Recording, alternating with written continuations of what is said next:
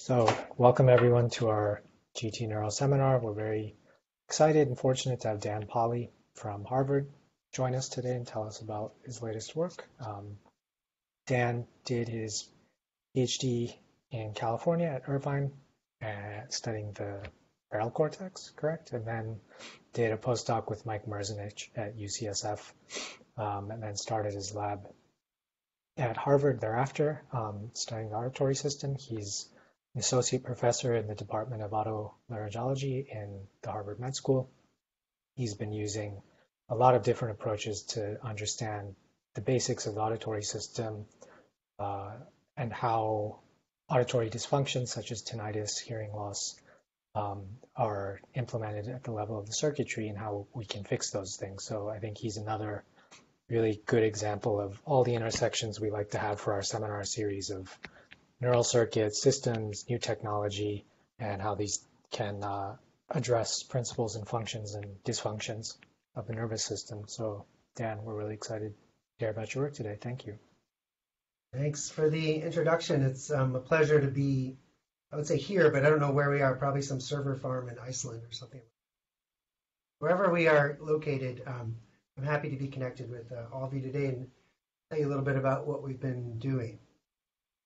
Super. Well, um, I think you know, talking with Bilal and learning a little bit more about like the um, type of people that tune into this seminar series, um, and looking at the um, the faculty expertise, seems that probably there just isn't a lot known about the um, huge amount known about the auditory system. There aren't a lot of people, with the exception of um, Robert Liu at Emory, who's really an expert on the auditory system. Not a ton of in-house expertise on this particular modality. So, you know, part of what I wanted to do today was just to introduce you to uh, some of the newer issues and findings and discoveries and frustrations that have been happening um, in the auditory modality. Um, and, you know, one thing you can study, which has, you know, certainly been a pop- popular and venerable topic for sensory systems, is how does the coding work, right? How do we um, encode the essential attributes of the physical stimulus. Um, so uh, the cochlear hair cells are the sensory cells, and they basically convert these mechanical pressure waves into electrochemical transduction. Um, the spiral ganglion neurons are the primary afferent neurons, the auditory system, and their job essentially is like analog um, to spike conversion. And then signals go to the um, cochlear nuclear complex, um, where there's a lot of extraction of uh, monaural spectral and temporal features. The next step of the system, I mean, you're already noticing that we're still in the brainstem, right? We haven't left. And so if we're the somatosensory or visual system, you know, you, you're into the thalamus, like within um, one central synapse. But the auditory system, there's like a lot of connections that remain in the brainstem. Um, here we're showing the um, olivary complex, which is where um, binaural or spatial cues are first computed. Um, and then as you kind of winch your way up the system and ask, like, what are the essential features that are um, arise there de novo? Uh, well, you don't know. I mean, all these years of studying the auditory system, um, it has sort of defied this like uh, canonical feature that we're all kind of familiar with with sensory systems, where features of increasing complexity emerge at later stages of processing. And um, it's not for lack of trying, but if you present the simplest stimulus possible, a pure tone, it will drive neurons in the auditory cortex really well. Um, and if you present like the most complicated stimulus possible, like speech and competing speech, you'll get selective responses in the nerves. So sort of like the, the visual system model, which has been so instructive for understanding other systems it has always been kind of a, a square peg in a round hole when it comes to the auditory system. So I, I just want to um, I want to talk a little bit today about you know to what can we attribute this sort of the frustrations that we've had understanding what later stages are doing. I want to emphasize that I'm not there have been a ton of really important discoveries. Um, I'm just referring specifically to coding. Um, there's a really wealth of literature in the auditory system in the realm of plasticity and how sensory signals are transformed from their physical attributes to meaning, how the system changes with learning or with sensory deprivation. And in many of those sort of plasticity questions, the auditory system is, is really um, far along and the understanding is pretty advanced. But Here I'm just talking about coding. And um, I'm also talking about, I'm not talking about representation. So you can find a representation of sound location in the cortex. Um, um, but I'm, what I'm really trying to focus on are like the initial computation, the first time that a feature arises, then how the circuits like provide uh, the ability to compute that feature. So um, reasons why they haven't emerged, well, um, historically it's the system was studied with anesthetics or from animals that weren't behaviorally engaged or recordings that haven't targeted um, genetically identified cell types. And, that's true. That's not a unique critique of the auditory system, probably, but um, you know, we made a lot of progress on other systems without doing like um, two photon imaging of genetically targeted cell types or what have you. So I think there's something beyond these sort of simple methodological explanations. Um, one possibility is that given all this elaborate circuitry in the brainstem, there just isn't anything left to uh, compute. Um, but I think actually it's sort of the, the field has been sort of looking for complexity in the wrong places. And that's something I, I want to spend a little bit of time talking about today.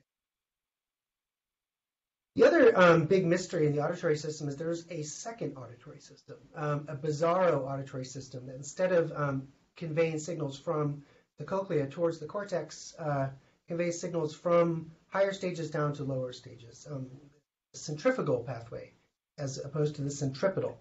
Um, so these descending connections are massive in the auditory system, and they go everywhere. Even the cortex will innervate the thalamus, the inferior colliculus. It'll send connections to the cochlear nucleus, the first stage of central processing. It'll send projections to the amygdala and to the striatum. Um, we understand, really understand only one component of this descending system, olivocochlear bundle, where, where um, neurons in the brainstem actually innervate the cochlea. So that's not something you see in the retina or in the somatosensory system. But these efferents um, play a really important role in gain control. They actually tighten the muscle that controls your middle ear, and they can change the uh, ability of those cochlear hair cells. So I think that olivocochlear bundle, bundle we understand well, and then the rest is uh, um, or not sure. Um, so the second goal of the talk today will be to um, to tell you. Uh, so yeah, I want to give you a primer on temporal processing. Um, I want to tell you about some new evidence we have for features that are emerging uh, de novo at later stages of the pathway.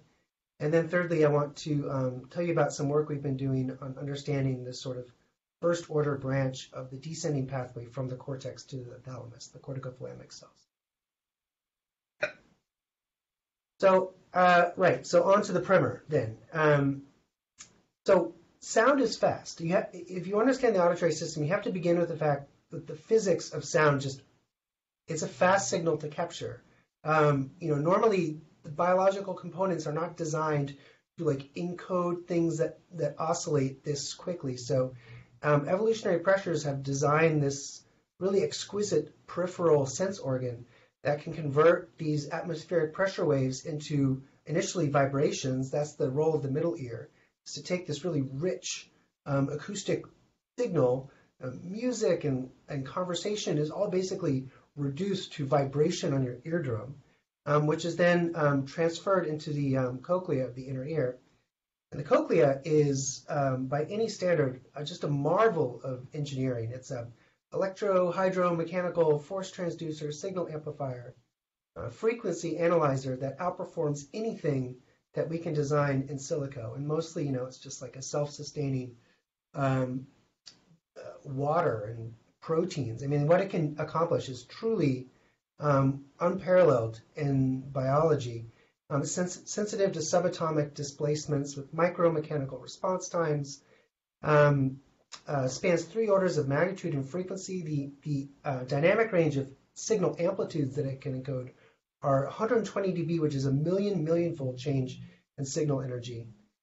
Um, so it is, um, you know, it's a transducer. It converts these uh, pressure waves into electrochemical signals, but it is designed with one purpose in mind, which is speed. To encode these atmospheric pressure waves, it has to be fast. Um, and it's and it has accomplished that. So moving on, um, let me just say, like, you know, the bigger challenge in hearing is that the rest of the brain doesn't go that fast, right? I mean, a neuron in other regions of sort of a garden variety pyramidal neuron in the cortex, if you inject current into it, it'll spike at like 10 hertz or something like that. Um, um, it can track like variations of signals, like maybe 10 hertz or 20 hertz or something like that. And so the auditory, the cochlea is is uh, transferring signals into the spiral ganglion neuron um, at rates of like a kilohertz, right? And so, you know, one of the jobs of the auditory system is basically to change this like incompatibly rapid neural signal into a, a, a slower signal that can be merged with, with other senses. Um, that's sort of like a larger function of the auditory pathway. But at the early stage, um, you know, you might expect that in total silence, the input from the ear is near zero. It's not true. Um, the spiral ganglion neurons spike at 20 hertz or um, up to 100 hertz in total silence. Um, and that's different than other primary afferent neurons. Um, and like the trigeminal ganglion neurons, they, they barely spike unless there's a deflection of like a facial cutaneous receptor. The optic retinal ganglion neurons will spike spontaneously up to around 20 hertz, incomplete without any visual input. But the auditory um, primary neurons are spiking like crazy, even in silence. Um, actually, think it's thought it might reflect Brownian motion of like the um, stereocilia bundle. It may not be total noise. It could be some signal that we can't even measure. Um, but when you present a signal, um, these neurons can spike at over a kilohertz, so they can track these really rapid variations in the um, source signal. So the brain is basically the auditory brainstem is just like facing like a torrent of activity from the auditory nerve. There's about 30,000 primary afferent neurons per ear in a human. And, um, you know, they're each spiking at 10s to 100 hertz in silence and up to 1,000 hertz with sound. And so, you know, the, these, these parts of the brain have to contend with a type of excitatory input that most of the brain doesn't have to deal with. Um, and it needs to encode those features to extract these like critical features for hearing. And if you look at the brainstem, you'll see things that you don't see elsewhere in the brain. Um, here's um, a drawing of a first order neuron in the cochlear nuclear complex called a globular bushy cell. And just want to draw your attention to this presynaptic specialization called an end bulb of Held. So it kind of envelops, it's, this is the auditory nerve uh, central synapse, which envelops these uh, globular bushy cells, ensuring high fidelity transmission. Here's another cell type in the cochlear nuclear complex called an octopus cell. And as opposed to the globular bushy cell, which gets only a few auditory nerve fiber inputs, which confer very narrow frequency tuning, the octopus cell, as you can see, is, gets auditory nerve inputs from all across the cochlear frequency map. So unsurprisingly, it responds to broadband signals like noise. I mean, the point is that like function selectivity for noise follows form. That like it gets these inputs from all across the cochlear frequency map, so of course it responds to broadband signals.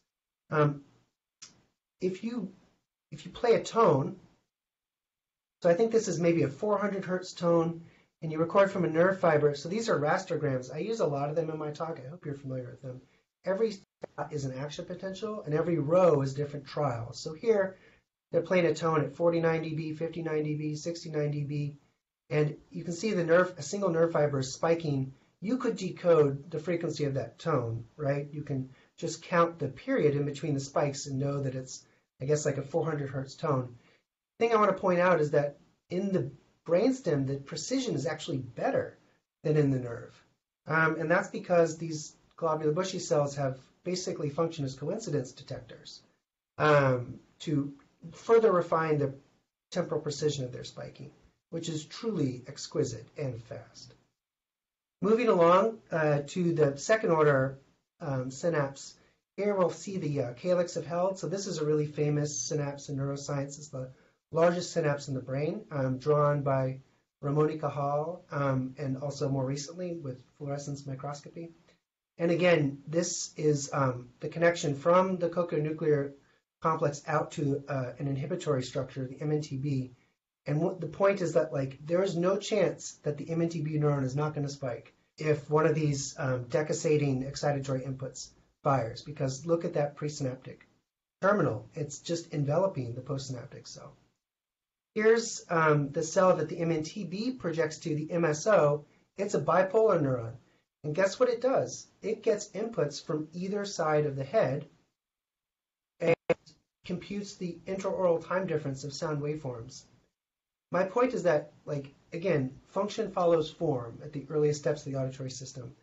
If you wanted to design a neuron that was going to get inputs from the left ear on one side and inputs from the right ear on the other side, it would look, you know, pretty much like that, right? I mean, it's like, it's beautiful that, like, each dendritic field gets input from like a different ear, and the computation follows that like the spiking is a function of the coincidence or the uh, coordination of the excitatory inputs from the two ears. So these neurons show exquisite sensitivity to interaural time difference. They're the tuning for their preferred interaural time differences on the order of like hundreds of microseconds. So I think I've I've hopefully beat this dead horse enough that like when it comes to the auditory brainstem and the periphery, it's like the Usain Bolt of the nervous system. Like this system is built for speed.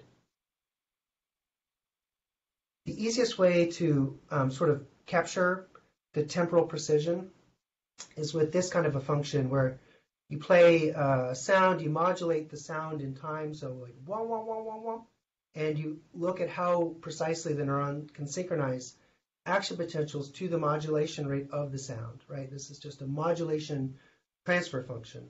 And so it might look something like this in the auditory nerve. And you could measure like the synchronization with like a vector strength metric or something like that. And take out one simple feature. What is the highest modulation rate to which this neuron will precisely synchronize its action potentials? We'll just call that the neural synchronization limit. And um, I'm just sort of like very coarsely schematizing like thousands of studies.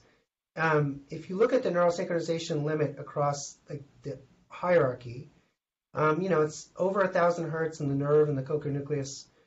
Perioliv starts to drop. The midbrain, it's like a couple hundred hertz. The thalamus, just 100. Cortex is about 10 hertz. So the question is always like, what's changing in, across the auditory hierarchy? Well, the most salient answer we have is sort of disappointing because what's changing is what's lost. It's you know, it's mostly what we see is what neurons can't do, um, not what they can do, what not new things that they can do. So, in terms of the acoustic signals in speech, like a lot of these acoustic features are fast, like the fundamental frequency, um, uh, notes of birdsong or phonemes in speech. Um, in music, pitch cues and harmony cues know, a lot of these cues are like beyond what the cortex can synchronize to. Um, for scene analysis, localization cues, and streaming cues, they're all kind of like too fast for the cortex, poor cortex. Um, and that's sort of like where we've gotten stuck as a field for like a while. Um, I think what's sometimes overlooked are the slow things. Um, because we're so like um, auditory system researchers are so proud of our Usain Boltness that we um, sometimes overlook the importance of things that are modulated at very slow rates, like sentences or bouts of birdsong. Um, music, um, we have rhythm, um, and rhythms form over slower time scales or loops. Um, I'll give you an example. I'm not sure how loud the audio is going to be, so I would encourage you to adjust your own volume. If there's no audio, Bilal will tell me, right? Um, so here's like noise bursts arranged in a random interval.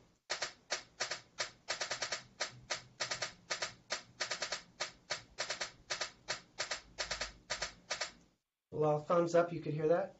Yeah, it's okay, good. Sound like a typewriter. Yeah. Okay, now here's the same noise bursts and the same intervals, only this time they're sequenced in a repeating order.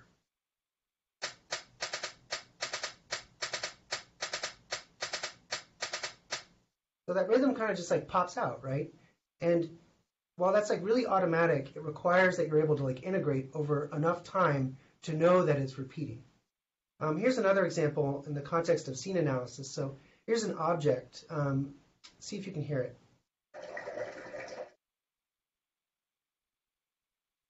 Uh, bubbling brook, something like that. Here's another one.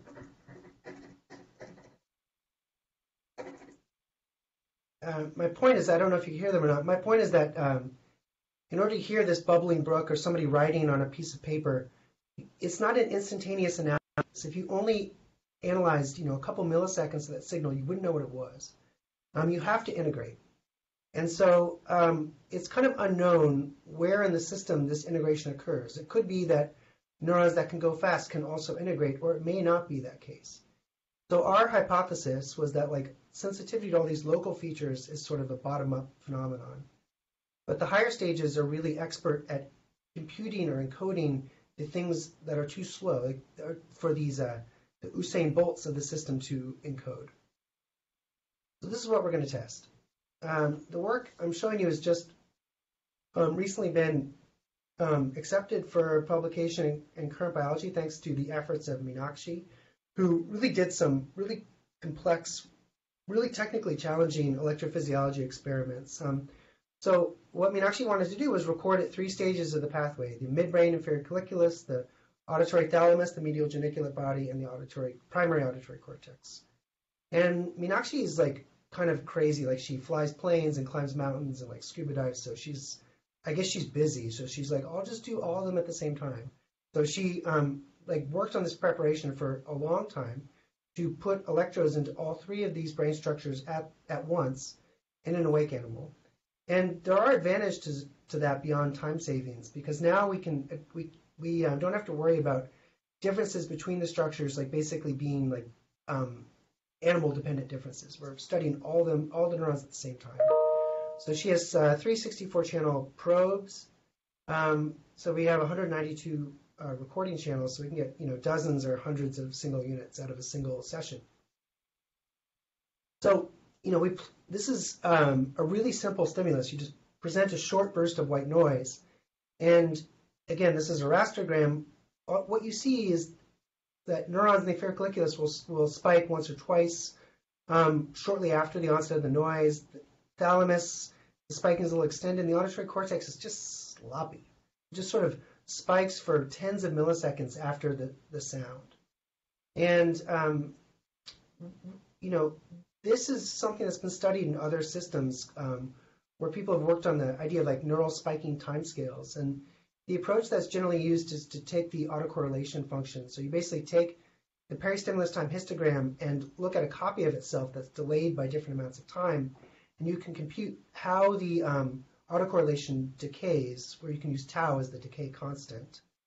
And groups that have used this in other systems, for example, the non-human primate visual system um, or the non-human primate somatosensory system, find that the timescales basically increase as you go up the hierarchy for vision or somatosensation. So we thought we would, you know, analyze that, and we could um, perform the same computation that were used in those studies. And here, I mean, again, the system's fast. So in the cortex, it's like 26 milliseconds for this cell is, is the is the tau decay constant. And when we look across all of our recordings, um, you know, you can basically see that it approximately doubles between the midbrain.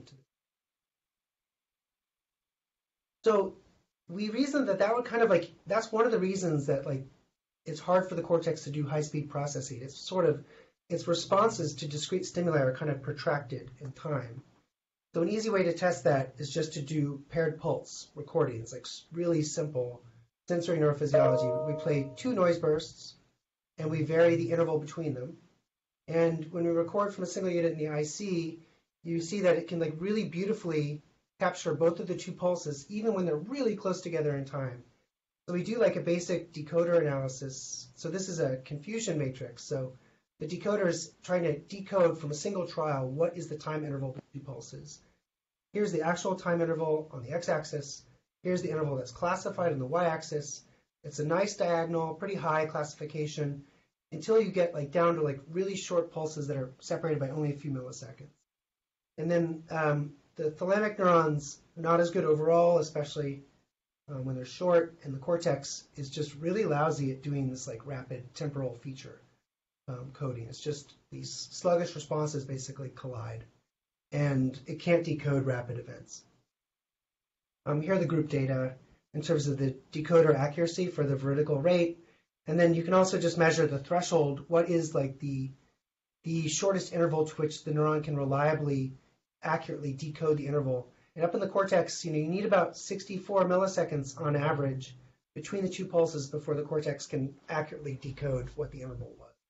And it's a, it's you know less than two milliseconds in the in the midbrain.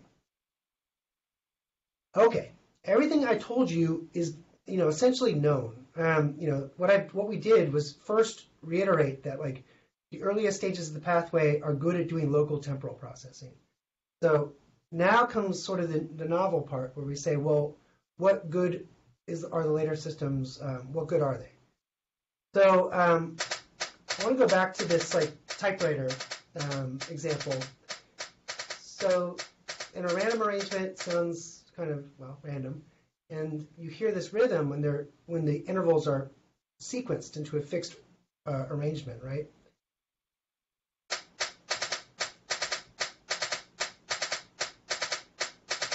So the nice thing about that stimulus is it's the same stimulus we just used for all these studies. It's a short white noise burst.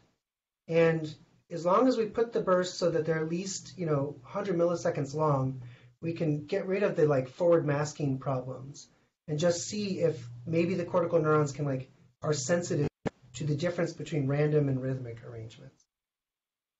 So the way Meenakshi arranged the experiment is this way. There's like a baseline period to adapt the neuron just to get rid of like the initial spike rate adaptation.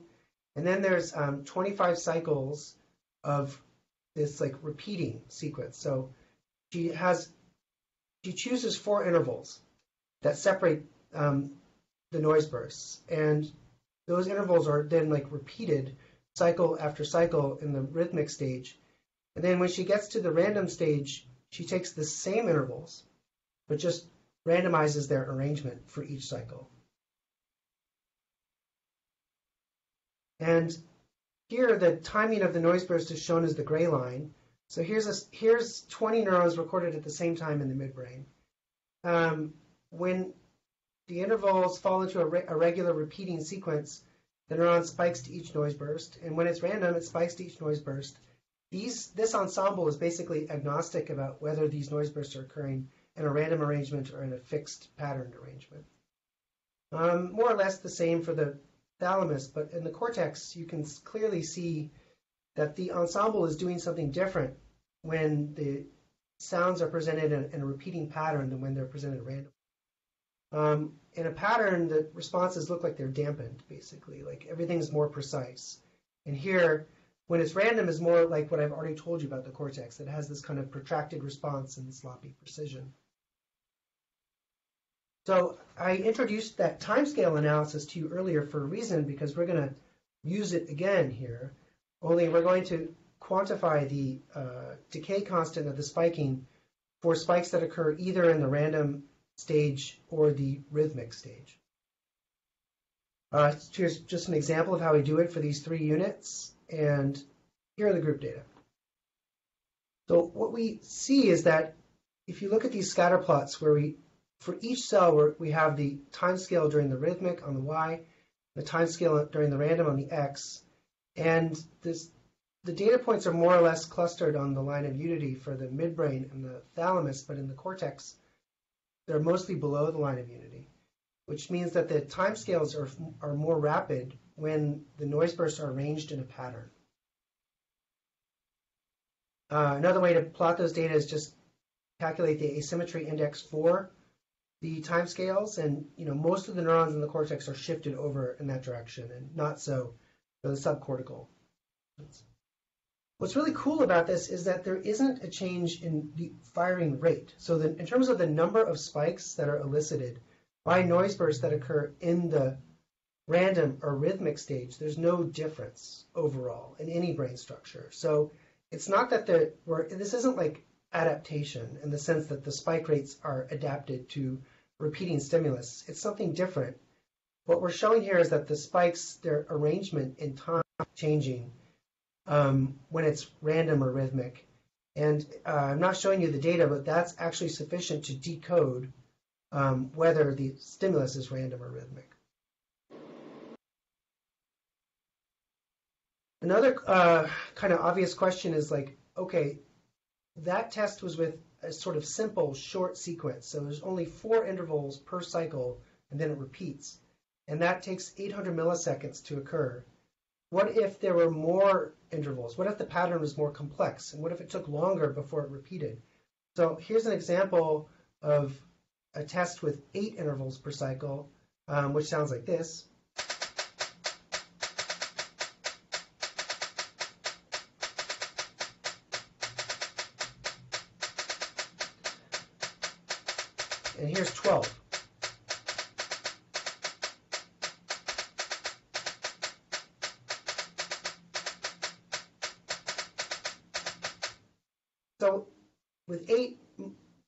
Of you could probably hear that there was like a repeating structure. With 12, it's pretty tough. Um, and so we tested these mouse neurons, and with eight, the effect is weak. It, it's not significant by the statistics that I mean. We were pretty conservative with our statistical criteria for significance. It's it's weak. With 12, it's not there at all. So it looks like this integration itself has limits. For us, it was um, it worked in the cortex when the cycles were 800 milliseconds long, but when they were longer than that, we didn't really see it. Okay, so I just want to kind of um, summarize um, the first couple parts of the talk. Um, we, I began by kind of introducing you to the like bizarre world of the auditory brainstem, these remarkable um, biophysical and morphological and synaptic specializations that um, make these neurons like these really incredible high-speed processors um, in the brain. And then, you know, we the question is, what features click? Okay, so the the the cues to know where a sound occurs in space are not captured in the auditory periphery. They are computed centrally, right? The the cochlea is not two-dimensional like the retina or the skin. There is no there is no information about x and y or z. Um, the information about where an object is on the horizon comes from a comparison of the signals between the two ears. Like that's clearly computed um, in the brain and more specifically in the superior olivary complex. And after that, it's not like really clear that any feature is computed de novo after the superior olivary complex. Our features changed absolutely. Timing codes are converted to rate codes. Some features are refined or more strongly represented in the cortex, like pitch than in the brainstem, but de novo computed, there really isn't much evidence for that. So, um, you know, I sort of affirmed that when it comes to encoding like rapid local features, the advantage goes to the earlier stages where the IC was able to better decode these um, intervals separating consecutive noise bursts in the cortex. But um, we provided evidence for something that is computed at later stages, and it, we didn't see any evidence for sensitivity to these slow rhythmic features in the midbrain. Um, we see a hint of it in the thalamus, and it's like quite clear in the primary auditory cortex. So um, these findings show that uh, low-level auditory neurons with their fast timescales are good for encoding local features, but not the gestalt. And you know, in vision, the gestalt refers to space, right? There's like a goose, and then the gestalt is a flock of geese. Um, the auditory system is like not about space or spectrum, maybe. It's like more about time. So complexity or gestalts in hearing are, I would argue, like in the time domain. That the gestalt is like is features that are distributed over longer time scales. And it could be that the cortical neurons, while they're not specialized to do the rapid processing, they they are specialized just for a different purpose, which is to integrate over long time periods, which affords them the sensitivity to features that are missed by earlier stages of the pathway, which are all about high resolution processing. So one like kind of curiosity is like, so the time scale that we measure, like over what period of time does the sound evoked spiking decay for a discrete stimulus? it's you know it was like around 20 milliseconds in the cortex and in order to be sensitive to whether these noise bursts are repeating or are random you have to be sensitive to 800 milliseconds. So that's a mystery. Like we, we don't know how this works yet right? It, it isn't simply the case that like oh well the particle a1 timescales are so long that like the entire repeating interval falls within a timescale. That's not that's not what's going on here.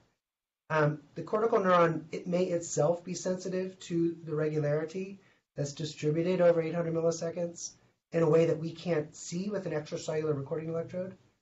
Or um, it could be that it is the readout of a different system that's really sensitive to these really long timescales. And you know, the fact that like the manifestation of the sensitivity isn't a change in rate, but rather a change in the way the spiking is dampened over time um, might be a clue. So here's like sort of a canonical cortical circuit. It could be somatosensory, visual, or auditory cortex. You know, first order thalamic input to uh, pyramidal neuron. Um, I guess that's weird. The auditory, the rodent auditory cortex doesn't have granular cells, so there's no granular layer. They're pyramidal cells. Um, that's just a uh, tangent. Um, and then you know we have these like larger pyramidal neurons, the deep layers that send their outputs to faraway places. We've got fast spiking neurons. By the way, the fast spiking neurons don't show any sensitivity to the repeating patterns. But you have these other neurons, like uh, somatostatin expressing neurons or NDNF expressing interneurons that synapse onto the more distal processes of the pyramidal neurons. And, um, you know, they're kind of a point of interest if you're thinking about a local circuit that could um, dampen or change the spike timing without changing the rate. Um, that might be um, one possibility. Um, it's also possible that this the unit that's sensitive to these like slow repeating structures isn't a cell type, but rather it's like a distributed circuit. So one example is like the corticothalamo-cortical loop. So we have cells in layer six that synapse back into TRN and the first order thalamus, which then project forward. And you know, there's work from um, like Scanziani lab that you can get a lot of these like dampening effects through this like thalamocortical thalamic loop. So that's you know another possibility. We don't really know the answer to that. Um, but that sort of takes me to the final part of the talk today, which was the descending system. And like I mentioned, um, you know, we really want to focus now on like what what are these projections from the cortex to subcortical stations doing in the context of um, active listening. Now, the anatomists have been aware of the descending system for over 100 years. Here's a drawing from Ramón y Cajal, who um, very astutely noted the, the the presence of the terminal ramifications of the corticothalamic or descending fibers and asks, you know, what are the role of these fibers? Do they transport some form of energy from the brain, the rapid accumulation of which in the sensory stations is necessary, the passage of ascending nerve currents. So, um, yeah, he always gets my vote for if there's one human being that ever traveled in time, um, it would be Ramón y Cajal because he's just has just remarkable insights into the workings of the brain with really limited limited information. Um, so here's again just to kind of I know people work in other systems, so um, in the primary visual cortex we have two classes of neurons that innervate the thalamus. Um, cells in layer five that synapse into the sort of higher order thalamus LP, but also send terminals um, collaterals into the superior colliculus, the striatum, and uh, AOT primary somatosensory cortex, you also have, oh, sorry. Then there's cells in layer six that synapse in TRN and the LGN, and they have some weaker input into the higher order thalamus.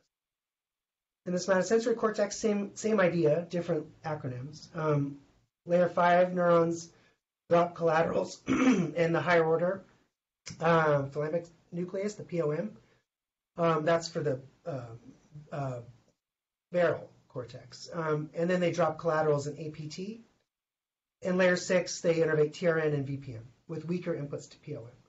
So we, we needed to know if the same sort of um, dichotomy of first order and, and, higher order layer five versus layer six um, projections existed in the auditory system. So Here's an anatomy experiment. We use the NTSR1 Cre line, which labels uh, only corticothalamic cells in layer 6, and into this mouse injected a virus, and the point is that you see cell bodies localized to layer 6A and axon terminals, you know, really dense axon terminals in the auditory thalamus.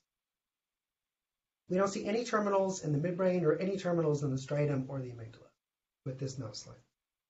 Um, here's like sort of an intersectional virus approach. So we inject a retrograde virus like CAV2 or AAV retro into the into the midbrain, in the inferior colliculus, and then a Cre-dependent um, virus into the auditory cortex. And you see, again, now we have those cells in, in layer 5B, not layer 6A.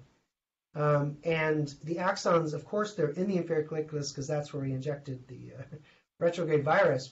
The question is, where else are those axon terminals? And so the same set of cells are also dropping collaterals in the higher order auditory thalamus, the dorsal subdivision of the medial geniculus.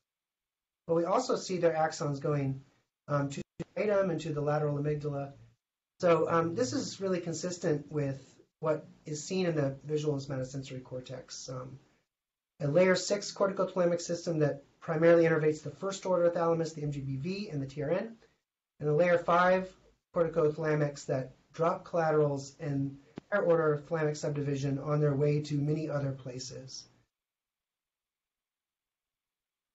These two um, types of corticothalamic cells have been studied extensively, um, especially in the visual cortex, especially in slice preparations. And there's a lot of data that's been compiled over the year, uh, over the years about what makes these two cell types different, which sort of culminated in um, Murray Sherman uh, and Guillery's um, sort of di- dichotomization of them as drivers and modulators. So they have all these different synaptic and intrinsic and morphological properties.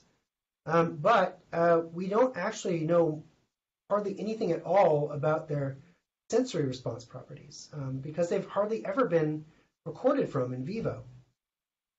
So that is something that a postdoc in my lab, Ross Williamson, wanted to remedy. So what Ross did was express channelrhodopsin either in the SR1 mouse line um, to, to label the layer 6 corticothalamic cells. So he implanted an optic fiber in the thalamus and optogenetically stimulated the layer 6 axon terminals, or he injected the, a retrograde tracer into the inferior colliculus um, and a Cre-dependent opsin in the cortex and optogenetically stimulated the um, midbrain terminals. So this was his way of of getting targeted recordings from either the layer 6 corticothalamic or these layer 5 corticofugal cells that project to the thalamus and the midbrain, among other places. Now, how does he know that he's got one of them on his recording electrode? Well, when you present a very brief one millisecond burst of light and just barely open the channel in the axons, you get sort of two different things when you record from the cell bodies in the cortex. You sometimes get something like this, a very neat, orderly, brief response, or something like this, which is delayed and distributed. And Ross reasoned that that spikes, optogenetically activated spikes like this, are direct recordings. So this was a cell whose axon terminals were directly stimulated. Um, whereas this probably reflects polysynaptic activation through cortical circuits. So to test that, he um, did an experiment where he blocked all the local synaptic transmission in the cortex, leaving only the direct antidromic activation intact, and computed the um, the first spike latency jitter. And you again, like with without NBQX, you get these two modes: this like high jitter mode and this low jitter mode. And after NBQX, the low jitter mode remains, which confirms that if when we see this kind of spike jitter, that's a directly tagged cell. So these are the distributions that we get, you know, when we record in awake animals without the drug, and we use that as a basis for defining when we have directly photo-tagged, antidromically photo-tagged a layer 5 corticofugal cell or a layer 6 corticothalamic cell. And, you know, time is short, so I'm not going to dwell on these points too long. So we have a basis now for, for making targeted recordings from two different types of these descending neurons. And now, great, right? But now the question is, okay, what do we want to learn about them? We want to learn what they do, but like, what does that mean? So, you know, we're not that creative. You know, the first thing we thought was like, let's play sound. I mean, they're in the auditory cortex. Um, there's the suggestion in other systems that the descending uh, corticothalamic cells basically don't respond to sensory inputs, but only non-sensory factors. So, um, I'm. This is a really beautiful paper that Ross um, published. There are important differences between the layer five corticofugal and the layer six corticothalamic, but I'm gonna like I'm not gonna dwell on them right now. they both respond to sound, and so do other neurons. So there are differences, but they're differences of degree, not differences of kind. So it doesn't really tell us like what is the uniquely important or different thing that deep layer neurons that project subcortically do from other types of neurons. That that um, question wasn't answered by just presenting sound. We can get some insight into it not by looking at the response to sound, but by looking at the way that neurons in the column respond to the optogenetic laser stimulus. So here is um, you know a 32 channel probe just spanning the deep layers. Here we are optogenetically activating the midbrain terminals of the layer 5 corticofugal cell. And you get these really, this is a PSTH, you get like a really brief burst of action potentials only in layer 5, and that's how we phototag these cells. When we do it on the NTSR1 line, the layer 6 corticothalamic, you just get spikes like everywhere. Like these cells are amazing. You stimulate their axon terminals and the cortical column goes haywire, for lack of a better word. I mean, there's just all these waves of spiking and suppression and spiking. So in that sense, the layer six are categorically different. The like the firing rates that are elicited by the optogenetic stimulus are not different, but their effect on other regular and fast spiking neurons in the column are really different. So here's just like the the uh, response to these cells being activated. And in layer six, you get really strong responses to both regular and fast spiking neurons.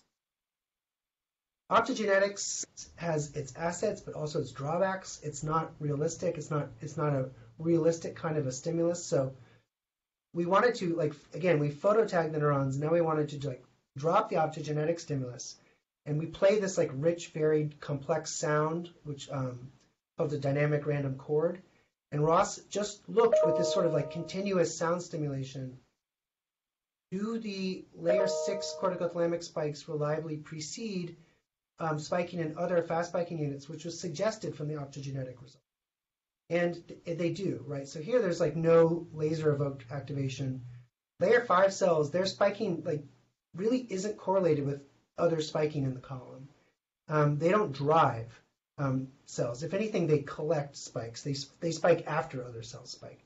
But the layer 6 corticothalamics, their spikes precede fast spiking spikes. So um, you can see that the peak of the cross, cross covariance function is shifted to the right a little bit. So that just confirms the result here that layer 6 corticothalamics drive fast spiking neurons as well as regular spiking neurons. Going back to this table, um, what this anatomy and the sensory responses told us is that the layer 5 corticofugal cells have distributed subcortical targets, they're sluggish, they're broadly tuned, they have dense coding, they have weak intracortical drive, and their spiking lags local fast spiking units. So we can just call them like broadcast neurons. Like they pool signals in the cortex and they broadcast it out to other stations in the nervous system.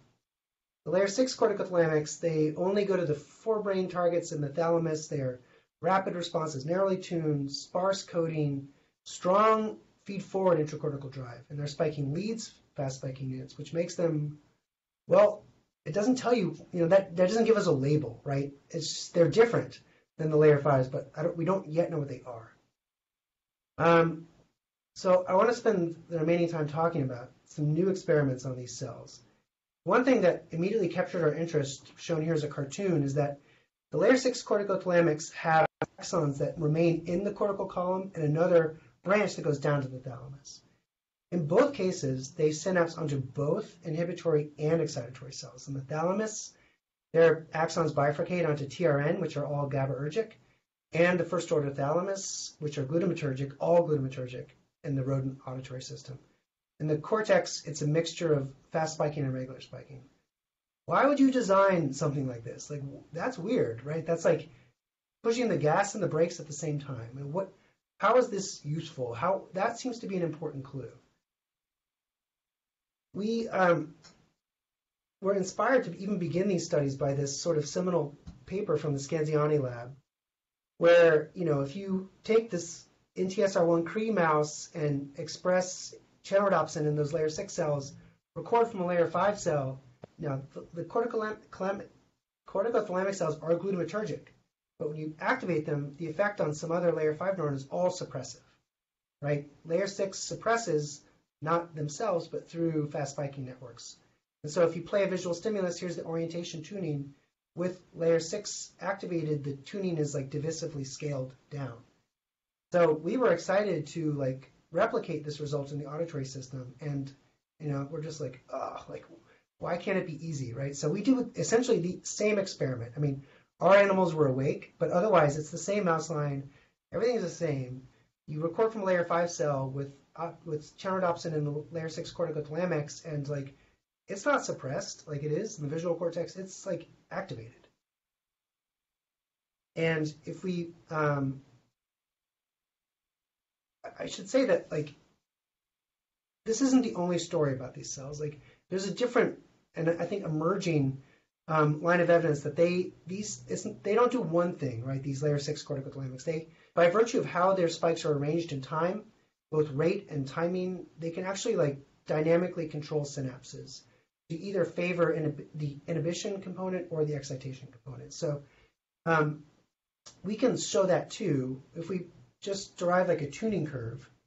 Um, we can we can play uh, tones at different times relative to corticothalamic activation. You can see that when the tone is presented, when the layer sixes are activated, there's sort of this like additive um, change. So it's not like the visual system, but it's changed. But if the, if the tone is presented just after the laser is turned off, it's divisively scaled. And that's a lot like what they show in V1.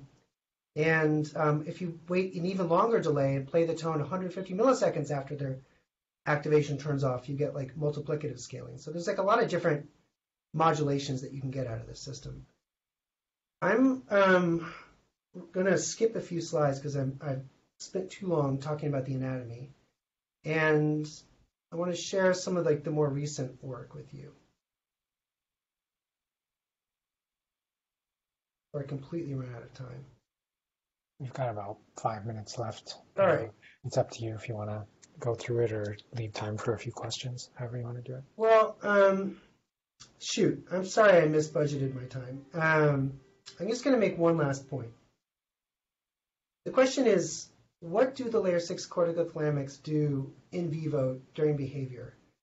We had reason to believe that because they modulate sensory tuning not while they're on, but after, and perception after they turn off, that it would be really neat if these cells were activated before a stimulus that was anticipated. And we did some um, experiments to measure in a behaving animal when do layer 6 corticothalamic cells activate and um, is it before the movement that produces an anticipated sound? And here's just, I'm going to show you one piece of data from two photon imaging of these cells.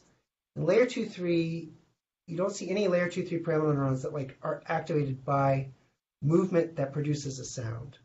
But when you we image the layer 6 corticothalamic cells, we can see that their activation ramps up um, with unit recordings hundreds of milliseconds before movement. Um, with imaging, you can see it, you know, hundred again, hundreds of milliseconds. So these layer six corticothalamics are activating well ahead of the movements that produce sound, and we wanted to argue that um, this might sort of prime the column to process anticipated sounds, um, either to suppress them or to enhance them.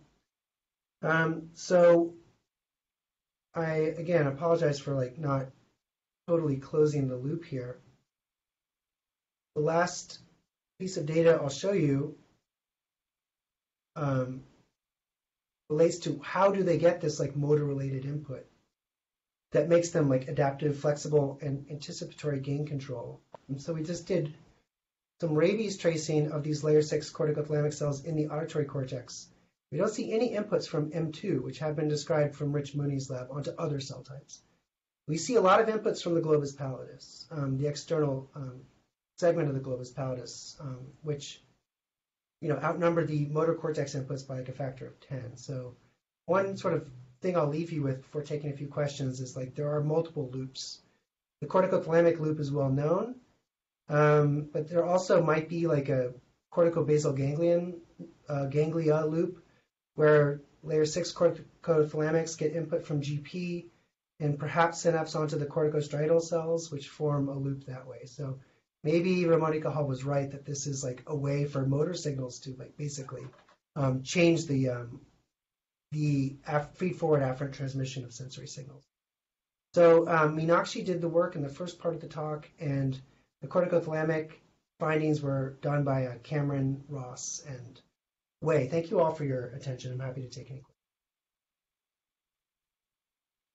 Thanks a lot, Dan. That was great. Um, so we've got uh, some people might shoot off at 12:15 to go to class or whatever, um, but we have time for a few questions. You wanna, I didn't see any in the chat, so if anyone wants to unmute to ask a question, please go ahead.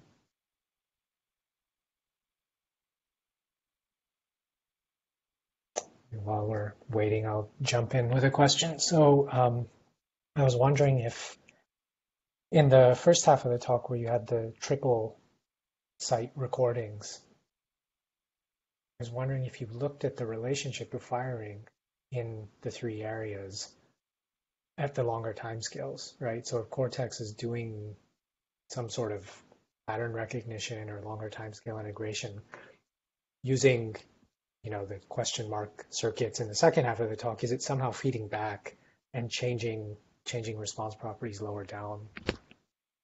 Yeah, I, I think we kind of like underutilized the triple recording. Um, it seems that you could gain some insight into like these like communication that's flowing in multiple directions uh, between these stations. I, you know, the stimulus paradigm we used, there was like a lot of sounds occurring in pretty high density, so it's it's a little bit hard to like separate out like the sensory drive from like yeah. the like to do like noise correlations or something like that. And there wasn't enough richness in the stimulus to do signal correlation. So I feel like um, we're kind of stuck on that. We have the data set, and I'm not sure what we're going to do with it. We, it's actually um, going to be available online. Um, but I, I, feel like, yeah, we've kind of underutilized the triple recording, given how, how hard it was for Meenakshi yeah. to master. Um, and I have to admit that, like, we don't have like a really clear sense of what we're going to do next. But if you do, um, let us know, or just take the data and let us know what, what comes out of it.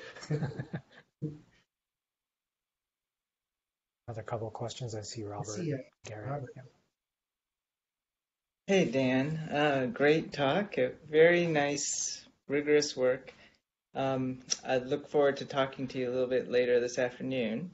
Um, let me ask though, uh, with the rhythm work, which is really elegant, do you ever think about that in like a context of predictive coding, where for the rhythmic stimuli, you have very, um, at a perceptual level, something that's very predictive um, perceptually, versus the kind of noisy intervals where it's less predictive, um, and you see this kind of difference in, in the coding. Does do you do you think about that result in some way reflecting something about the predictive nature of um, the responses in auditory cortex? Thanks, Robert. Yeah, it certainly is tempting to use the P word, isn't it? I mean, it, yeah. it's like, uh, um, I guess I've been like conservative. I mean, there is a basis for prediction in that signal, no question. Um, I've was sort of, we we wrestled with how heavy heavily to lean on prediction. I I haven't because, for me, like proof of prediction would be behavioral. You know, we need to I need to would need to know that the animals actually, the mice perceive the pattern. Um, for me to say that it's like predictive, because for me the word is sort of like a psychological term. So um, we we thought we would study that, and we started a whole set of behavior experiments to ask whether mice could, using an operant behavior, to distinguish between the repeating pattern and the random. Um, they have they're still sort of ongoing, but they haven't been going very well, to be honest. So I, it's it's hard to get a mouse to like accumulate sensory evidence before telling you what it hears. Mice are good at doing detection tasks. Um, so we're using like motorized stages to delay the operant response. We don't know whether mice can't hear this or whether like we're not they're, not, they're telling us something else. But the evidence is not like inordinately clear that they are using it as like a predictive cue. Um, the other thing we could do to your point was like we can titrate the randomness. Um, so we, and and that's a good idea and something that's kind of like um, underway. Um, we don't really know like not like it's not very clear yet. So I'll just have to tell you about that later. But I, I feel like I've I'm aware that predictive coding is out there, and I'm just like hesitant to use. Okay.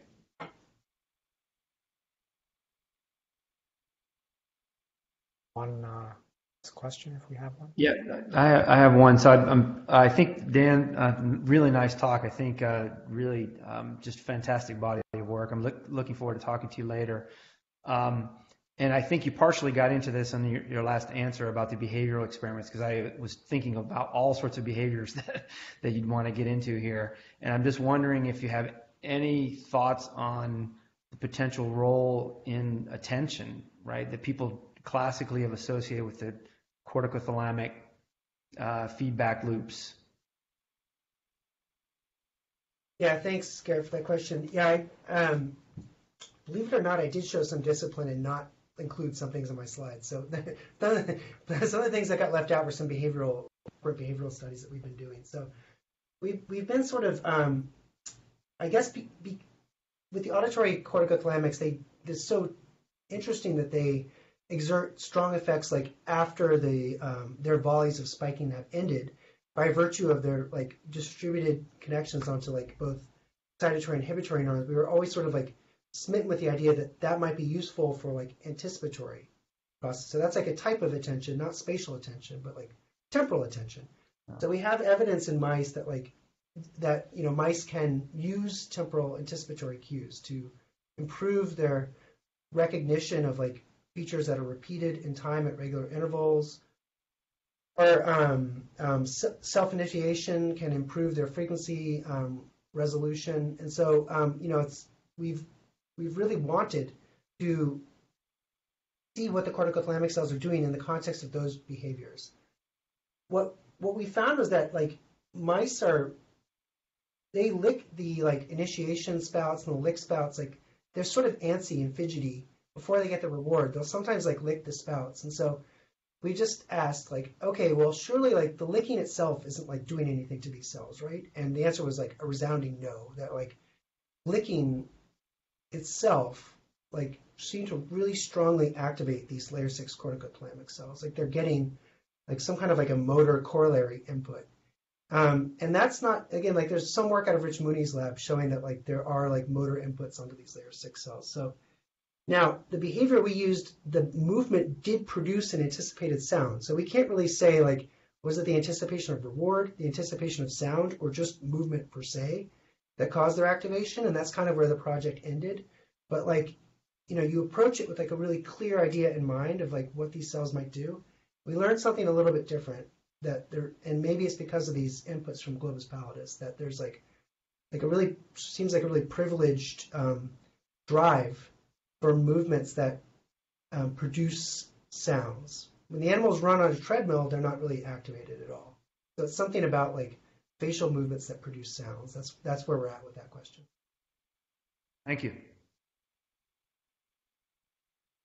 Okay, I'm sure there's tons of other questions, uh, but we're a little bit over time, so I'm going to stop it for now. Um, but if you have questions for Dan, please get in touch with him. And I want to thank him again for a really excellent talk, really enjoyable. Um, and he's got some meetings with the students coming up and then some of the faculty members later. So thanks again, Dan. That was great. My pleasure. Thank you all. Right. Thanks.